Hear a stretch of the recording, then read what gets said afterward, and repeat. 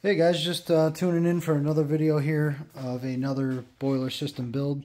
Uh, this one's going to be a three-zone baseboard system with a combi unit from Navien. Um, basically what I'm doing here is just kind of doing my initial layout and then what I'd like to do to get everything out of the way is install all the domestic hot water connections, uh, the primary manifold, my air separator, all the things that I know are very standard to the way I build these. Um, and, you know, after doing a lot of them, I really have it down to quite a science and, you know, a very good process for how I install things just to speed things up. So um, at this point, like I said, I have all these uh, service valves connected. Um, in some of my other videos, I actually explain what all this stuff does. So go ahead and check those out. Uh, just check out my channel and you could dig through a bunch of uh, the boiler build systems and some of them I go really in depth about explaining what each component does and how I go about setting these up. So uh, at this point in the build, like I said, I'm just setting up these initial things that are uh, always pretty straightforward for a build. And then I start to lay out what I want this one to look like. So this customer actually um, wanted the supply and returns to be over here on the left. The most typical system I do, if you have no preference, is actually have everything go to the right, just because of uh, the way things lay out. Um, that's the simplest method, but um, we could orient these any uh, specific way you want in order to fit on a, uh, a, sheet of plywood. So this one will probably end up only taking about four by four. So I usually build my systems, adjust everything accordingly, and then I'll cut the plywood as needed. Um, so I'm, I'm also in the process of just getting all my parts together and all of the other fittings that are required for everything. I have shut-off valves for all the circulators, all of my um, adapters that are needed. So again, this customer also wanted everything to be ProPress.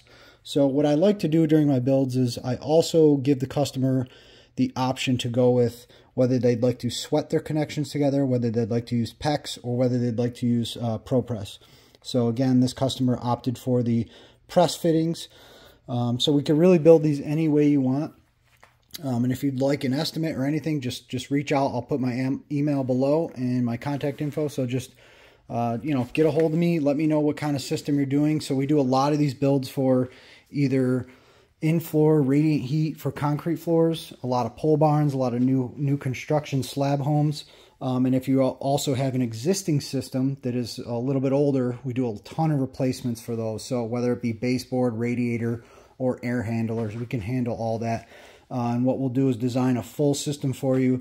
Uh, basically, we just get inputs from you. Um, and if it's an existing system, what I do is I take your all the information from you for your existing system, and then I'm able to design a newer system for you that not only will, you know, at, at a minimum heat the home to the, the current comfort level, but we're going to save you a ton of money on fuel costs, whether it's gas or propane. We also offer electric options.